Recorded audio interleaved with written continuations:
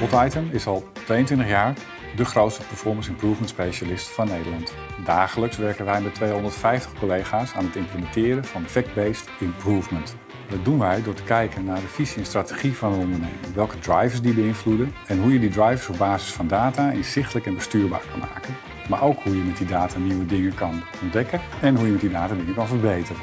Kortom, eigenlijk alles rondom het onderwerp data, ook de hygiënefactoren data governance en privacy, zit in onze aanpak.